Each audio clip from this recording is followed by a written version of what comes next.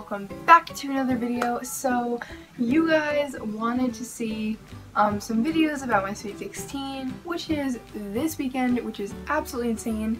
So today I'm going to be showing you how I'm doing my Broadway themed or like they could really be for any themed uh, goodie bags. So without further ado let's get into the video.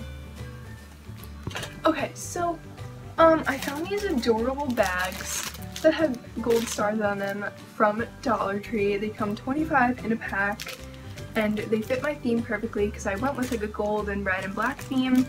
And then I was just putting, I put some candy in it. I put a pixie stick, a Cow Tale, a Hershey Kiss, and a little buttermint that says thank you on it. Um, I got the candy at Dollar Tree. I absolutely love the thank you mints. They're literally adorable. So it's basically that simple. And then just because my party is Broadway themed and I wanted to make it somewhat Broadway themed, I made these cute little playbill magnets and I'm going to show you how to make them in just a minute. So I'm just going to put one of these in every goodie bag as well. And then from Michaels I got this red ribbon for 50 cents for a roll which is really really good and I'm going to make a tag out of card stock. This is really simple to make. You just have to punch a hole in the corner of the card and then I printed out these tags that just say thank you for coming, I hope you had a good time, love Megan. So I'm just going to cut one of these out. And then we're going to put it onto this card. I'm just using tape, but I will be using glue for the real ones. And then we're going to take our really pretty red ribbon. To cut some, just about this much. Okay, there we go, finally. Then I'm going to take my goodie bag and give it like a twirl on the top. I'm going to put the little tag, the, the ribbon tag, if I can get it through the tag. Then, as simple as that, tie it on to the bag, tying a bow on the ribbon using with I cannot talk with the ribbon and it is that simple that cheap this cost these cost me probably like 25 cents to make each bag, um, maybe even less than that. And they're really cute. The little playbill magnet is there. You could even throw some confetti in here to make it a little better. Um, really simple, really cute, but also gets the message across like thanks for coming and I hope you had a good time. And I might be buying more candy to add to these because there's really not a lot in there at the moment.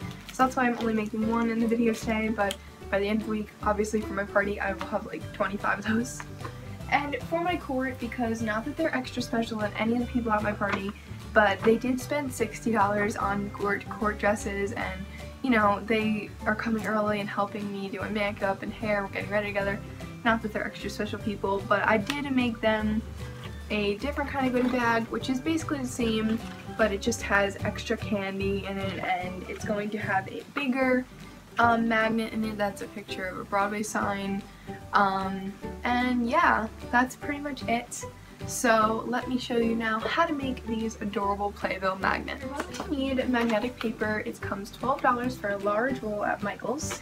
You're going to need a paintbrush and Mod Podge. You're going to need scissors, and you're going to need something to put your to, to put the magnets on. And then you're going to cut out the magnets into smaller pieces. And you're going to cut out the playbill printables, which I just made this on Google Docs and printed them out. And then you're going to peel the paper. It's sticky magnetic paper, by the way. Mine is so hard to peel. After a whole five minutes, I got one to peel. So anyway, you're going to peel the backing off and then you're going to stick the paper printout on. Now, you can literally just be done like this, but Mod Podging it gives it like a like glow kind of and like shine. So I'm just going to put it on this little paper.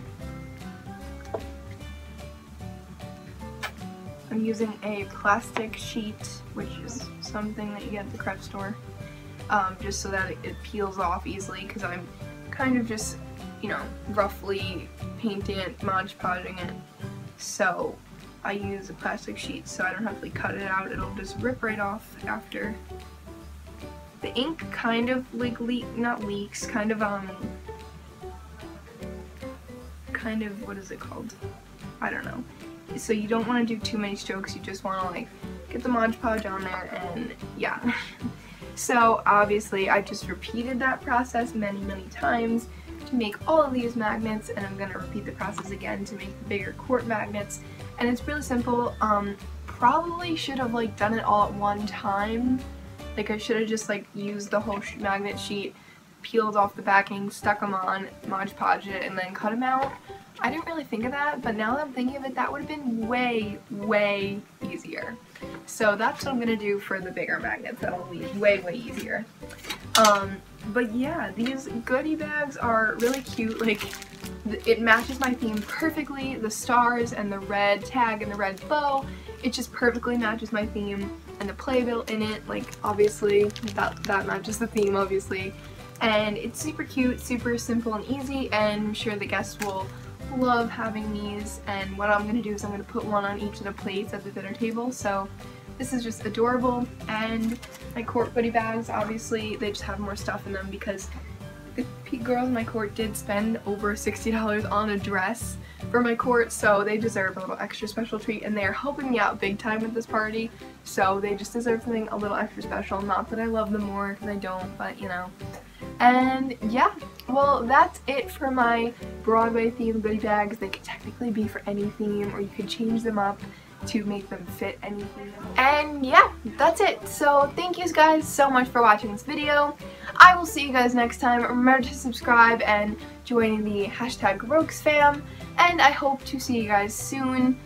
And again, if you don't follow me on Instagram, YouTube Studio is like broken right now. Nothing is updating, so it's a little bit harder for me to like work with my channel right now. So just be a little, give me a little break. I'm trying my best and I should be uploading again very soon. I'll see you guys soon. Bye!